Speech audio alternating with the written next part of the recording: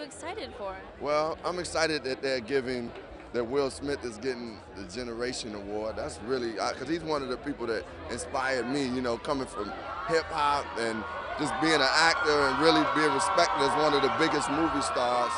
And then too, I'm excited to see you know Kevin Hart and, and The Rock do that thing. And I hope I don't know if Kendrick is performing or not, but I'm getting to introduce him, so I'm, I'm excited to do that because he's one of my favorite artists. Oh yeah, for sure. We're glad that you're excited for The Rock and Kevin Hart. So are we. And with that, we've got a little game for you, as we always do. Uh.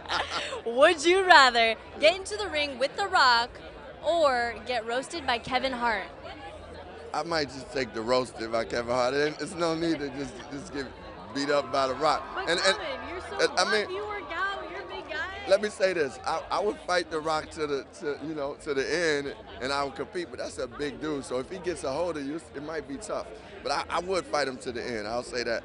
I'll take the roasted by Kevin Hart. You could you could always come back on somebody like that.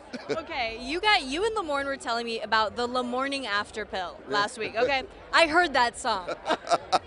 you heard that song? Did you have any idea that the song was gonna go down that route? No, I mean, I, I just knew that that dude was so funny that he was gonna go somewhere crazy. When he first played me his music, I was like, this dude is, is funny. And even on the set of Barbershop, he was just doing new things. So I, I love the La Morning After Pill. Will you take the La Morning After Pill? I will take the La Morning After pill, but do you think he, uh, Lamorne makes a good uh, rapper?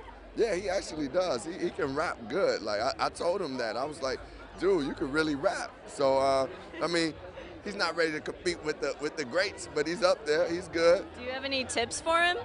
I mean, keep it funny, stay stay fun, but try to try to be diverse. That's the one thing I was surprised with. He was doing different types of stuff. Like he was he was doing a trap style, and then he do like a, a more hip hop based style. It was dope. It was dope. I mean, I'm really excited for the Morning After Bill. Yeah, exactly. What's your favorite popcorn film?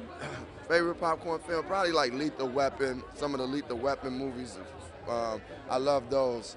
Um, yeah, and I like. uh, I like. Uh, yeah, that's. I like that, and that's it really. I mean, it's, what else? I like Friday. I like Devil Wears Prada.